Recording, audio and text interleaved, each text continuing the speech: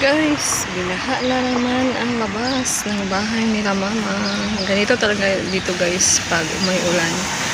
Binabaha talaga yung labas kasi parang walang drainage na maayos. Kaya ayan at may papakita ko sa inyo ayan.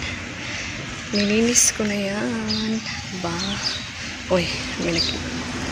Ayan, nilinis na yan ni host. Ayan, ayun yung mga, buti na lang yung mga alaga ko is uh, andoon sa loob. Malinis na po, ayan.